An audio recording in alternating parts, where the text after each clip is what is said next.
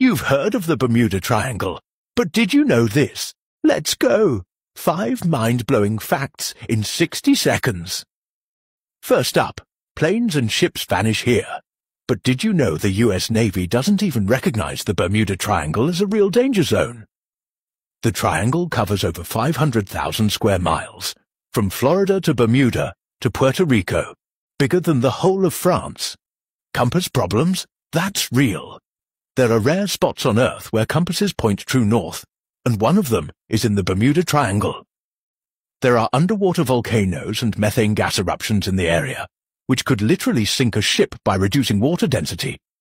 And finally, Christopher Columbus himself reported strange lights and wild compass spins right here in 1492. Yep, he saw it first. Still just ocean, or something more?